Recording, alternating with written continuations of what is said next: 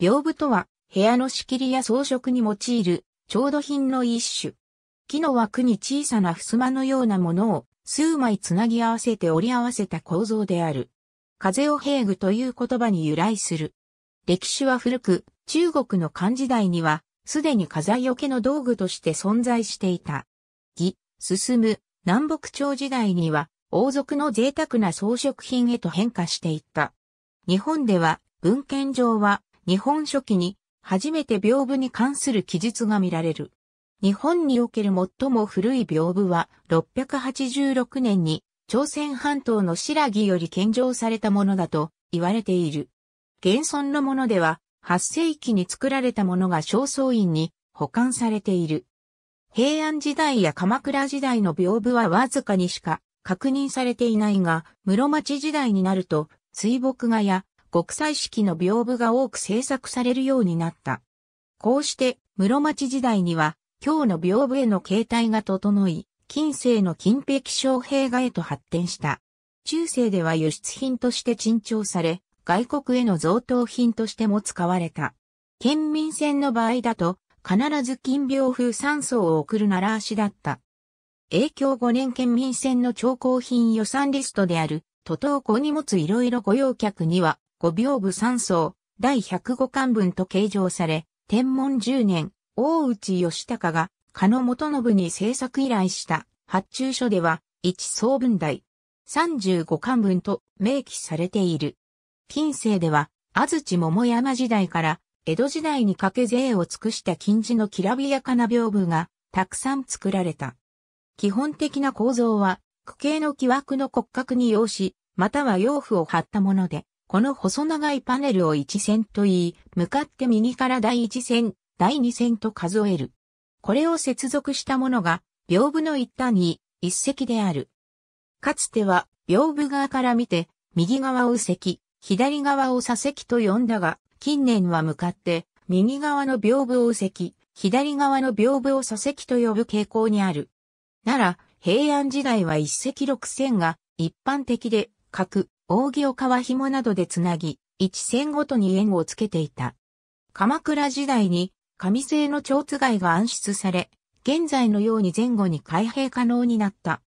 また、初期の屏風絵は1線ごとに縁取りがあったが、それが2線をつないだ縁取りになり、室町時代初期には、屏風全体が一続きとなる大画面が実現した。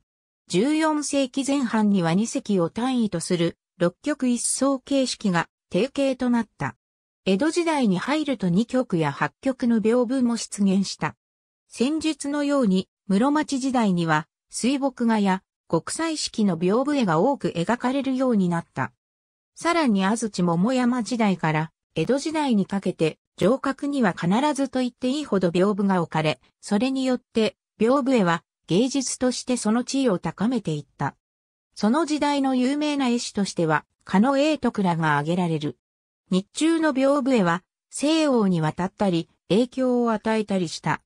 戦国時代から江戸時代初期に行われた南蛮貿易を通じて海外に渡った日本の屏風絵はポルトガル語やスペイン語でビオンボと呼ばれた。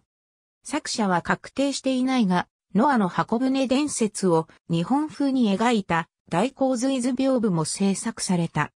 また、中国から西欧へ輸出された屏風はコロマンデル屏風と呼ばれ、西洋画をはめ込んで使われたり、欧州やその植民地で屏風絵が制作されたりした。室町時代には、金箔、切箔、金写紙、金泥などで加色した金屏風が制作されるようになった。金屏風は日常や儀礼用の調度品だっただけでなく、幕府や諸大名から中国、朝鮮半島、ヨーロッパなどの国王への贈答にも用いられた。金屏風などは結婚式場などで活用されている。芸能人の婚約記者会見会場などのセットにも用いられる。ただし、2008年に春風亭小朝、安葉夫妻が催した離婚記者会見においても使われ、度肝を抜かせた。総曲寺歌などの近世法楽の正式な演奏会では、紐線と共に用いられるのが普通であり、地下部、日本舞踊、歌舞伎等のパフォーマンスの背景に置かれることも多い。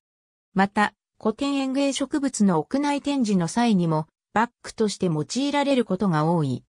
屏風は完全に折りたたんだり、板状に広げ切ったりした状態では倒れやすく、その中間だと安定して設置できる。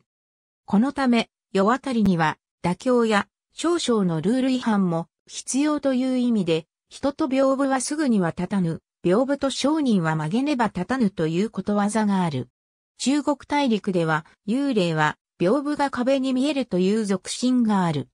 中国の伝統的な建物の入り口画像になっているのはそのためであるという説もある。ありがとうございます。